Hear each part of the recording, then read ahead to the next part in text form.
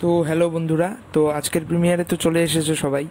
তো সকলকে প্রথমেই জানাচ্ছি যে আমাকে সিক্সটি সাবস্ক্রাইবারের অ্যাপে তোলার জন্য অসংখ্য ধন্যবাদ। তো যারা ভিডিওটাকে নতুন দেখছ তারা অবশ্যই চ্যানেলটিকে সাবস্ক্রাইব করে দাও এবং অবশ্যই ভিডিওটাকে লাইক করো। তো আজকে আইএফ খেলা শুরু করেছি আমি আগের দিন থেকে তোমরা নিশ্চয়ই দেখেছ।